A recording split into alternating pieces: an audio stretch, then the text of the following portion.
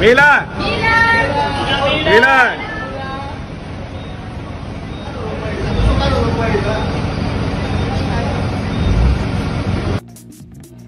Hola, ¿qué tal mis amigos y seguidores de Arquifarándula?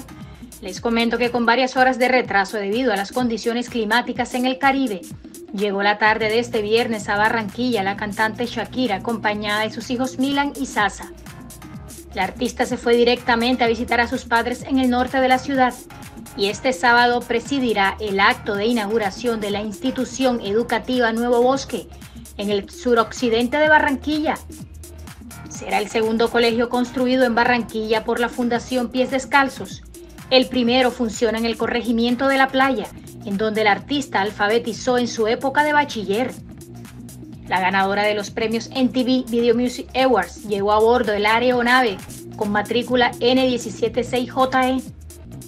El arribo de la aeronave se produjo a las 5 y 38 de la tarde en medio de una pertinaz llovizna y apenas se suspendieron las operaciones por instrumento.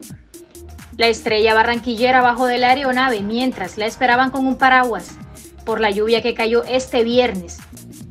Del aeropuerto Ernesto Cortizo se dirigió al norte de la ciudad para visitar a sus padres William Mebarak y Nidia Ripoll. De hecho, la cantante fue captada por varios fans, los cuales la filmaron y se tomaron las respectivas fotografías para el recuerdo. Como todos sabemos, Shakira brilló una vez más en la música el pasado 12 de septiembre, Luego de regresar a los escenarios y rendirle un tributo a su amplia carrera en la industria, la colombiana fue centro de miradas y reacciones en las plataformas digitales, donde aplaudieron su show y su vitalidad en estos espacios artísticos.